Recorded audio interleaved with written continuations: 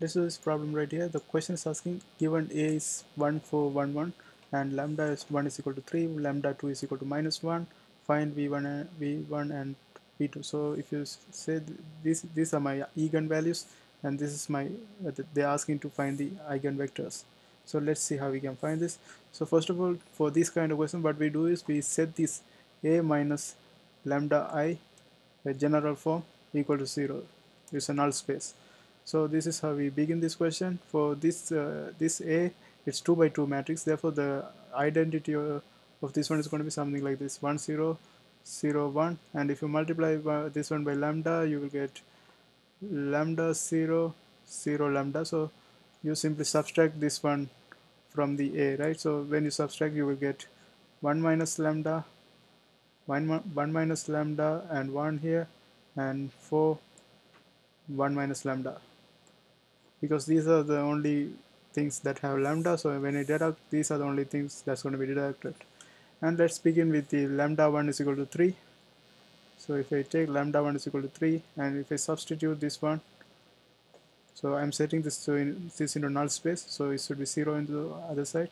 Then here if I substitute this value here it's going to be 1 minus 3 1 4 1 minus 3 and uh, after I find the value so it's going to be minus 2 1 4 minus 2 and after I find the value I have to do the Gauss Jordan so if I, if I do the Gauss Jordan if you see if I multiply this one by 2 and add it to the second equation this both will become 0 because if, if I multiply this one it will become negative 4 this will become 2 and 2 plus minus 2 0 negative 4 plus 4 is 0 so let's see. Minus 2 1 0 and this is gonna be so I multiply the first equation by 2 to r1 plus r2 that's give us 0 0 right here. So from now on I, I know this is my free variable because this is my pivot therefore this is going to be my free variable. So free variable. And if I simplify this one more to Gauss Jordan so I have to make this one equal to 1 so what I have to do is I have to divide by negative 2 so if I divide this one by negative 2 I will get 1 right here. And if I divide this one by negative 2 I will get negative half.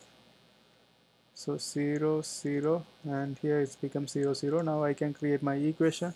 So the equation is going to be x uh, x minus half y.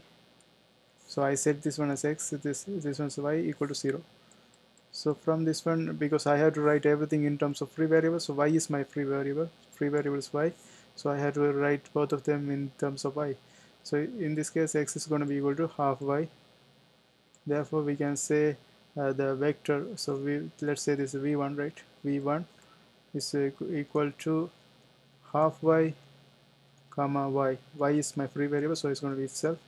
Then what I have to do is I can take the y common here so it's going to be half comma y half comma 1 and then uh, I can write this one as span of half comma 1 so this is my eigenvector for the lambda 1 is equal to 3 now I have to find the eigenvector when lambda 2 is equal to minus 1 so let's see it's going to be same thing.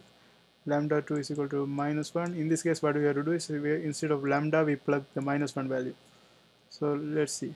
So 1 minus minus 1 and then here 1 it's going to be 4 right here. It's going to be 1 minus minus 1 and we set to set this one into null space so it's going to be 0 0 in this side. And this is going to be 2 1 this is going to be 4 this is going to be 2 and other side is going to be 0 0 so in this case if you see this one uh, if I multiply the first equation by negative 2 and add it to the second equation the second equation will become 0 therefore let's do this one. So I'm doing I'm doing the Gauss Jordan here. So 2 1 so if you multiply the first equation by the negative 2, it's going to become negative 2 r1 plus r2. That will give us 0 in the bottom.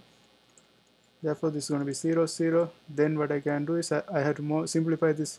We know this is going to be my free variable because this is my pivot right here. But uh, I have to fully do the Gauss Jordan. So let's see.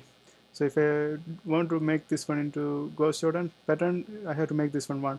So to do that, I have to divide by 2 so it's going to be 1 and this is going to be 1 by 2 and this is 0 this is 0 on the other side is going to be 0 0 then if I now I can create the equation and now I, I, I also know that this is my free variable because this is my pivot this does, this uh, column doesn't have pivots therefore this is my free variable. Therefore we know that y is our free variable y is free variable. Therefore let, we have to give the answers in terms of y. So let's create the equation x plus half y is equal to 0 therefore x is going to be equal to minus half y. Therefore we, we can write the vector v2 is equal to minus half y comma y. And then I can take the y command if I take the y command it's going to be minus half comma 1 and I can write this one as span of minus half 1 so these are my final answer. So v1 is this and v2 is equal to this value. And that's how it's done. I hope you guys like this video. See you next time